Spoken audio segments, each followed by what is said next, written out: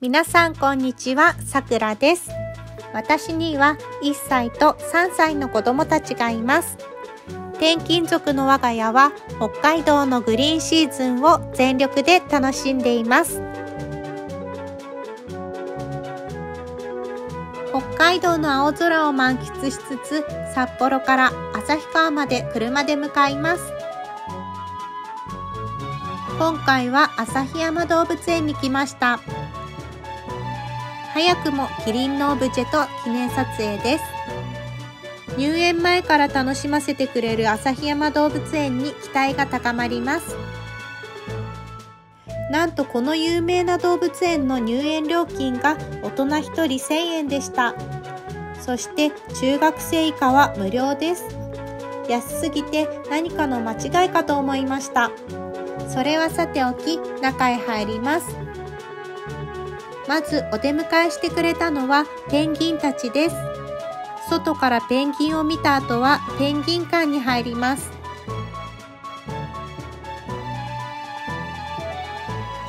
ここでは水中を泳ぐペンギンが見れます。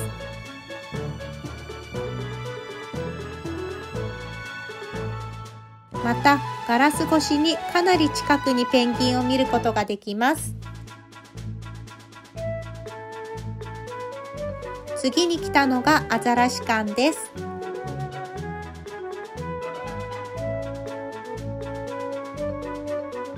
あの有名な水の中をアザラシが通る筒がありました。そしてきれいに泳いでくれます。もちろん地上からも泳ぐアザラシが見れました。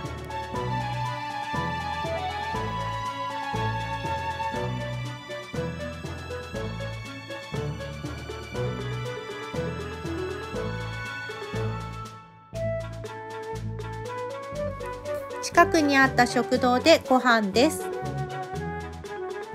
カレー、パンケーキ、うどんとラーメンを頼みました。ところどころにアザラシがいて可愛いです。お箸もアザラシです。そしてご飯の呼び出しベルまでもアザラシです。アザラシ尽くしの食堂を出て次へ向かいます。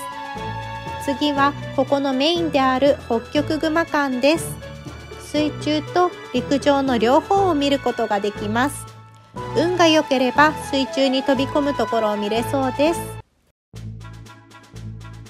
ここは本当に近くでホッキョクグマを見れて迫力があります。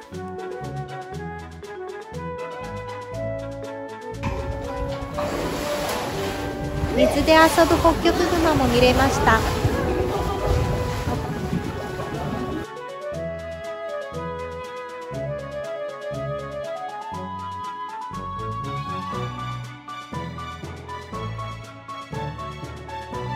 レッサーパンダも近くで見れます。次は猛獣館です。虎やライオンなどを見れましたが、なんといっても驚いたのは上にせり出した檻です。氷が真上にいます。毛がこちらに出て寝ている様子がとても可愛かったです。こんなに近くでヒョウを見ることができてびっくりでした。旭山動物園は本当に動物の展示の仕方がうまいと感心しました。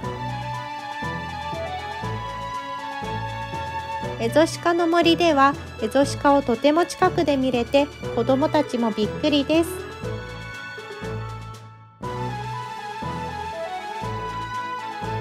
チンパンジー館ではチンパンジーたちが縦横無尽に動き回っている姿を見ることができます。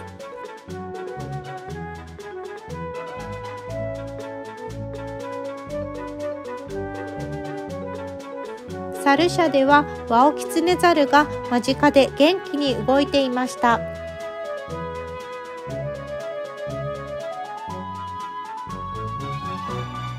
次に向かったのが子ども牧場です。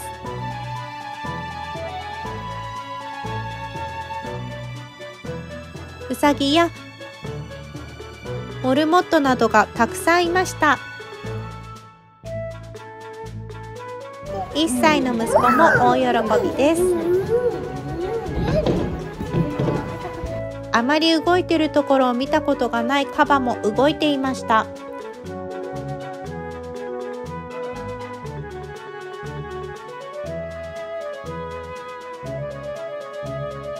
最後に来たのがキリン車です。キリンの頭が目の前に来る作りになっていて迫力がありました。旭山動物園は見せ方がとても工夫されていて子供はもちろん大人もとても楽しめる動物園でした。帰りにぜひ寄っていただきたいのが砂川ハイウェイオアシス館です。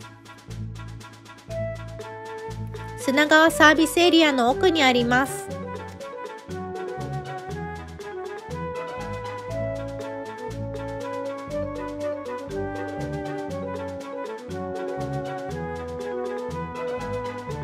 お土産屋さんがたくさんあります。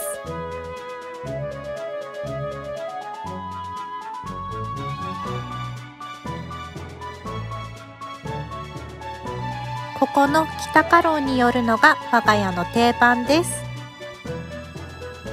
ここ限定のパティシエのまかないソフトがとっても美味しいです。ソフトクリームの下にはしっとりバウムクーヘンやサクサクのパフチョコレートが入っています。カップの中のお菓子は4種類から選べます。私のおすすめは断然バームクーヘンです。子供が遊ぶ屋内施設や公園があるようですが16時までのため間に合ったことがありません。1日遊べそうですね。こうして家に帰ったのでした札幌近郊の遊びスポットなどを中心に動画を作成しています。